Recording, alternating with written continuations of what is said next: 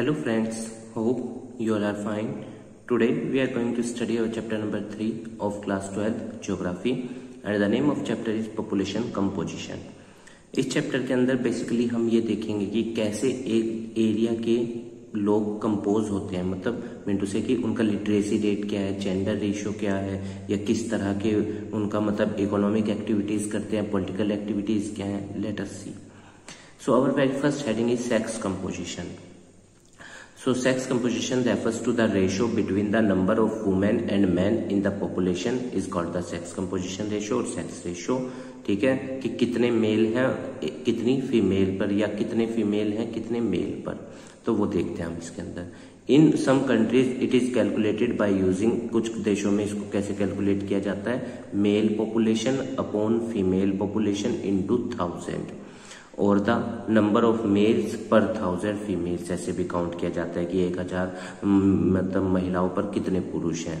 In India, the sex ratio is calculated by using formula. हमारे यहाँ कैसे निकलता है? Female population upon male population into thousand हमारे यहाँ इस तरह से निकलता है। और the number of female per thousand males, या फिर कितनी फीमेल्स हैं मतलब कि एक हज़ार मेल्स पर। जैसे 943 के आसपास ये डाटा है। The reasons where sex ratio is not good there women condition is unfavourable क्यों? क्योंकि इसका मतलब वहाँ पे उनका एक्सप्लोइटेशन हो रहा है ना, वहाँ पे आज भी कंजर्वेटिव सोच है, जहाँ पे वुमेन्स को मेंस के इक्वल अधिकार नहीं दिए जा रहे हैं। या सेक्स रेशो अच्छा नहीं है, जैसे केरला का भारत में सबसे अच्छा सेक्स रेशो है। एक हज़ार मेल्स पर एक हज़ार तेरह फीमेल्स हैं। कहने का मतलब है कि इससे हमें यह भी पता चलता है कि सोसाइटी आज भी उन कंजर्वेटिव थिंकिंग को ही लेकर बैठी है, अगर जेंडर रेशियो या सेक्स रेशियो कम है। क्यों? क्योंकि यहाँ सोसाइटी को समझना चाहिए कि मेल और फीमेल बराबर है। इवन हमारा कॉन्स्टिट्यूशन ऑफ़ इंडिया नहीं इस बात का अधिकार देता कि हम सब बराबर है। बिल्कुल देता है।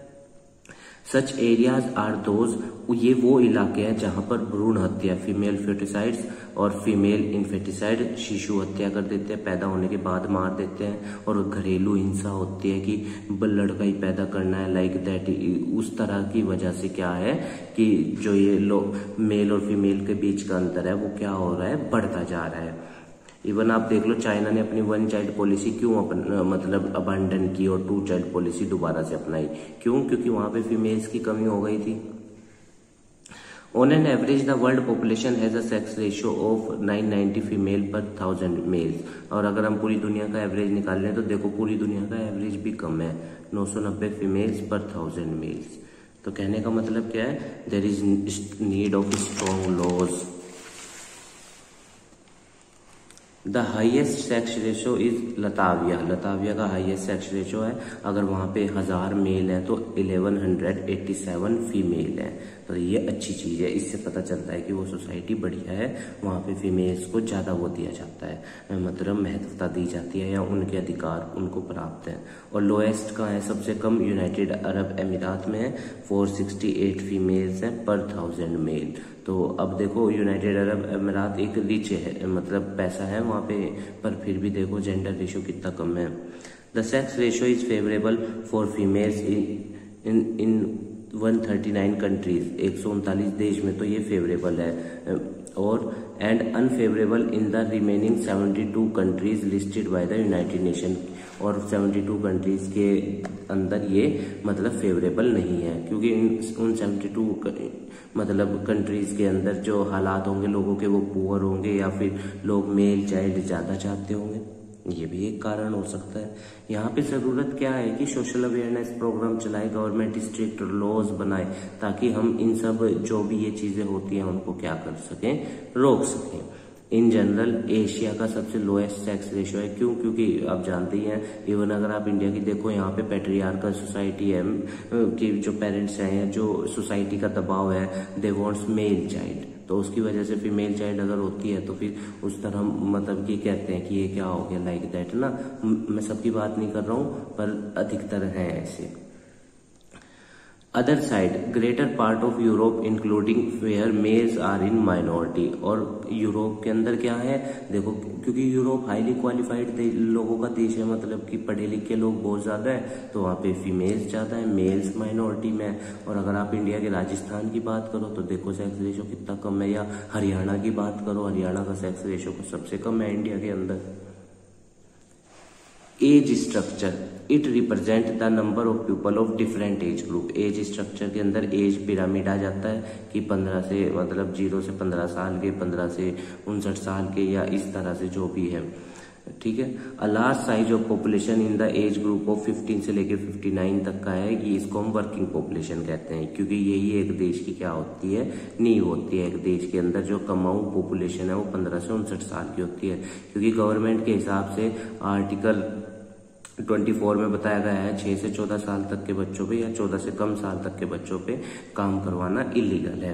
आर्टिकल 24 ऑफ़ इंडियन कॉन्स्टिट्यूशन और आर्टिकल 21 के ए में राइट टू एजुकेशन दे रखा है, जो 2009 में पास हुआ था कि 6 से 14 साल तक के बच्चों को कंपलसरी एजुकेशन और इवन फंडामेंटल ड्यूटीज़ में भी डाला गया है इंडियन कॉन्स्टिट्यूशन की। ग्यारह फंडामेंटल ड्यूटीज़ में से भी एक है। तो इसलिए हमने यहाँ चौदह साल की जगह पंद्रह साल ली है उम्र। Above 60 year represent an aging population and require more expenditure on health and health care facility. तो 60 साल से ऊपर के लोगों को दवाइयों की या इन सब चीज़ों की ज़्यादा ज़रूरत पड़ती है, क्योंकि बॉडी साथ छोड़ना शुरू करती है ना उस टाइम और हमारी कैपेसिटी काम करने की क्या हो जाती है? कम हो जाती है।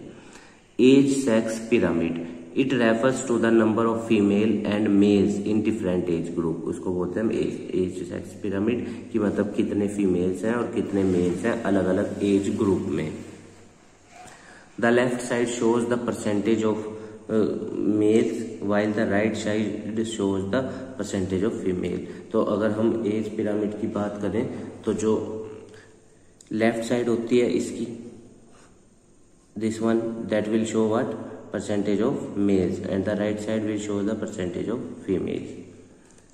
Expanding population. The age of sex pyramid of Nigeria is a triangular shaped pyramid with a wide base in Kaisai. These have larger population in lower age group और यहाँ पे लोअर एज ग्रुप में इनके पास population क्या है? बहुत ज़्यादा है। इवन आप देख लो इंडिया में भी तो लोअर एज ग्रुप में पॉपुलेशन बहुत ज़्यादा है। पंद्रह से चालीस साल तक के लोग हमारे यहाँ या तीस साल तक के लोग बहुत ज़्यादा हैं। बांग्लादेश एंड मैक्सिको की भी एज पिरामिड सेम है इसी तरह से। इवन देखो बांग्लादेश कितनी अच्छी इकोनॉमी मतलब की ग्रोथ रेट कर रहा है अच्छी तरह से। कांस्टेंट पॉपुलेशन कांस्टेंट पॉपुलेशन क्या होती है जहाँ पे ग्रोथ नहीं हो रही है?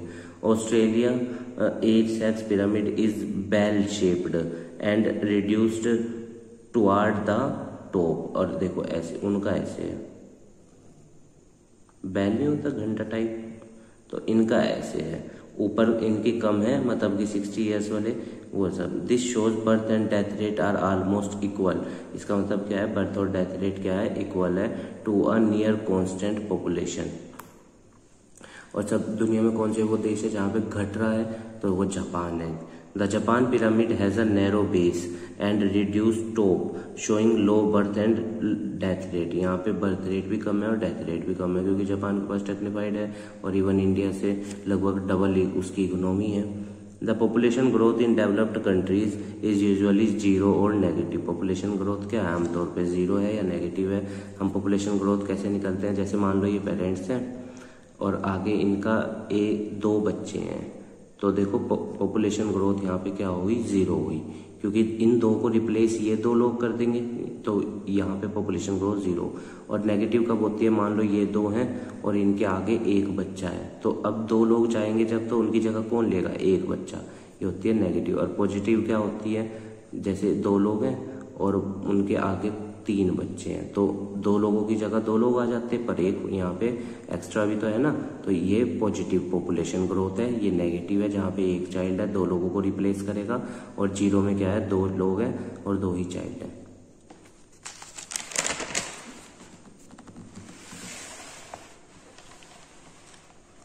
Ageing population ageing population share of the older population become larger और धीरे धीरे ओल्ड पॉपुलेशन भी क्या हो रही है, बढ़ रही है, क्योंकि हेल्थ सिस्टम सुधर रहा है तो उनका सर्वाइवल का वक्त बढ़ रहा है। This is new phenomenon of the twenty century ये बीसवीं शताब्दी का मतलब एक नया कंसेप्ट है। In the developed countries population in higher age group has increase due to increase in life expectancy क्योंकि बढ़ा है। अगर आप इंडिया का आज़ादी के वक्त लाइफ एक्सपेक्टेंसी देखो 44 इयर्स था, और आज कितना है? 68 पॉइंट समथिंग है, या 69 है। Due to reduction in birth rates और बर्थ रेट भी क्या हुई है? कम हुई है। Rural urban composition the division of population in rural and urban is based on the residence की मतलब कि कितने लोग उस इलाके में रह रहे हैं, गाँव में कितने हैं या शहर में कितने हैं। Because rural and urban life style differs from each other in term of their livelihood and social condition के बेस में गाँव के लोगों का रहने का तरीका, कमाने का तरीका, जीवन जीने का तरीका अलग होता है। किसके कंपैरिजन में? शहर के लोगों के कंपैरिजन में। द एज जैसे गाँव के लोग मेनली प्राइमरी एक्टिविटी करते हैं खेती, पर शहर के लोग मेनली प्राइमरी मतलब कि काम क्या करते हैं? आमतौर पे सर्विस सेक्टर में इन्वॉल्व है या सेल्फ एम्प्लॉयड है? The age structure density of population and level of development vary between rural और अर्बन एरिया के बीच में, इसमें क्या हो सकता है? अंतर वेरिएशन हो सकते हैं। The criteria for measuring rural and urban population vary from country to country किसी देश में गाँव में लोग ज़्यादा रहते हैं। जैसे इंडिया की बात करें तो हमारे यहाँ रूरल पॉपुलेशन 48.9 परसेंट डायरेक्टली और 66 परसेंट डायरेक्टली एंड इनडायरेक्टली मिला के है। तो और अर्बन पॉपुलेशन कम है। पर वहीं आप अमेरिका की बात करोगे या कैनेडा, जापान की बात करोगे तो वहाँ या सिंगापुर की तो वहाँ पे अर्बन पॉपुलेशन ज़्यादा है। तो वो वेरिएशन होता है कि लोग रह कितने रहे हैं एक इलाके में। In rural areas people are engage in primary activities आमतौर पर गाँव में जो लोग हैं, वो किसमें इन्वॉल्व होते हैं? खेती में इन्वॉल्व होते हैं। And the agriculture is the main source of livelihood for them और एग्रीकल्चर ही उनका क्या है? रोजी रोटी का मेन साधन है। In urban areas, majority of the working population is engage in non primary activity और शहरों में मैंने आपको बताया मेजोरिटी ऑफ़ पॉपुलेशन किसमें लगी होती है? नॉन प्राइमरी एक्टिविटी मतलब खेती में नहीं होती। जैसे आप कह सकते हैं जॉब्स में है सेल्फ एम्प्लॉयड है इंडस्ट्रीज़ बहुत सारे रोज़गार के साधन अवेलेबल होते हैं अर्बन एरियाज़ में तो इसीलिए वो सब उसमें है।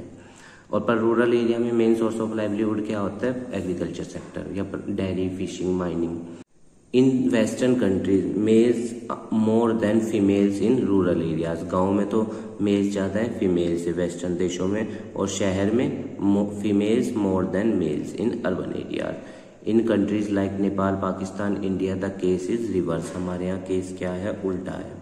हमारे यहाँ फीमेल्स कम है और मेल्स ज़्यादा है। लिटरेसी साक्षरता कि कितने पढ़े लिखे हैं लोग। देखो, एक देश के लोग जितने ज़्यादा पढ़े लिखे होते हैं, वो देश उतना ज़्यादा तरक्की करता है, क्योंकि उस टाइम पढ़े लिखे लोग देश के लिए गुड ह्यूमन कैपिटल होते हैं।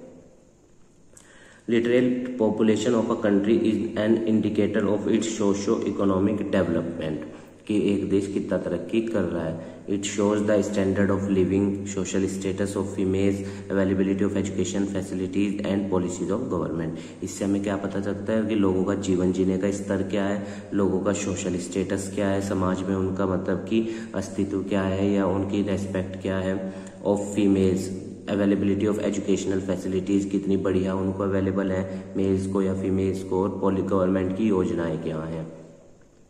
हमारी गवर्नमेंट खैर एजुकेशन को धीरे धीरे अच्छा बनाने के लिए बहुत मतलब पैसा खर्च कर रही है। इन इंडिया इंडिया के अंदर literacy rate denotes the population above seven years जो भी सात साल से ऊपर की पॉपुलेशन है, वो इसमें काउंट होती है। वो is able to read and write have the ability to do arithmetic calculation with understanding उसको हम लिटरेसी रेट में मान लेते हैं कि जो सात साल से ऊपर के हैं, पढ़ना लिखना जानते हैं, थोड़ी बहुत मैथ की प्रॉब्लम अर्थमेटिक प्रॉब्लम्स को सोल्व कर सकते हैं। कैलकुलेशन वही जम प्लस माइनस सब्सट्रैक्शन एडिशन वो सब। Occupational structure the working population मतलब ऑक्यूपेशनल स्ट्रक्चर का मतलब होता है कि पॉपुलेशन इन्वॉल्व किसमें है? कार्य कैसे, किस मतलब कि वर्किंग फोर्स लगी हुई किस फ़ील्ड में है? The working population age group between 15 to 59 में आपको बता दिया क्यों लिया था हमने as lakes part in the various occupation बहुत सारे takes part in the various occupation बहुत सारे ऑक्यूपेशन में क्या करते हैं? काम करते हैं। कोई खेती में लगा है, कोई कहीं नौकरी कर रहा है, कोई टीचर है, कोई डॉक्टर है। तो बहुत सारे सेक्टर्स में सब लोग अपनी अपनी सेवाएँ दे रहे हैं। Like agriculture, forestry, fishing, manufacturing, construction, commercial transportation services, communication and other unclassified services. मैंने आपको बताया कि लोग इस इन सेक्टर्स में लगे हुए हैं और अपनी सेवाएँ दे रहे हैं। Primary activities mainly where natural resources exploited तो agriculture forestry fishing and mining ये प्राइमरी एक्टिविटी हैं। सेकेंडरी में मैन्युफैक्चरिंग आ जाएगा जहाँ पे फैक्ट्रीज इंडस्ट्रीज़ आ जाती हैं और टर्शरी में आ जाएगा transport communication and other services और क्वार्टरनरी एक्टिविटीज़ कौन सी होती हैं? Job related to research and developing ideas mainly scientist की या रिसर्च स्कॉलर्स की। These four sector is a good indicator of the level of economic development जिस देश में जितनी ज़्यादा ये एक्टिविटीज़ होंगी, वो देश उतना ज़्यादा तरक्की करेगा और उस देश के लोगों का स्टैंडर्ड ऑफ़ लिविंग उतना ही ज़्यादा बढ़ेगा। क्योंकि देखो, जब लोगों की कमाई होती है तो तभी तो उनके पास डिस्पोजेबल इनकम हाथ में उनके ज़्यादा होती है और उसको खर्च करते हैं और देश में इकोनॉमिक एक्टिविटीज़ बढ़ती हैं। तो उम्मीद है गाइज़ आपको ये चैप्टर समझ में आया होगा। हमारे काम को सपोर्ट करने के लिए वीडियो को लाइक कीजिएगा, अपने दोस्तों के साथ शेयर कीजिएगा और हमारे चैनल को भी सब्सक्राइब कर दीजिएगा। और अगर आपकी कोई क्वेरी है तो आप कमेंट बॉक्स में हमें बता दीजिएगा, हम उसका आंसर दे देंगे। और देखिए स्टूडेंट्स ही अगर किसी पॉइंट्स के द्वारा आप हर्ट हुए हैं तो उसके लिए हम आपसे क्षमा मांगते हैं। हमारी कोई इंटेंशन नहीं है आपको किसी भी पॉइंट से हर्ट करने की। कई बार पॉइंट्स ऐसे होते हैं जिनकी एक्सप्लेनेशन क्या होती है, थोड़ा सा इमोशंस को हर्ट कर देती हैं। तो आप उसको ईजिली लीजिएगा एज अ स्टूडेंट ही ठीक है स्टूडेंट स्वस्थ रहिए, मन लगाकर पढ़ाई कीजिए। कोई क्वेरी है किसी पॉइंट से रिलेटेड कमेंट बॉक्स में बता देना। धन्यवाद स्टूडेंट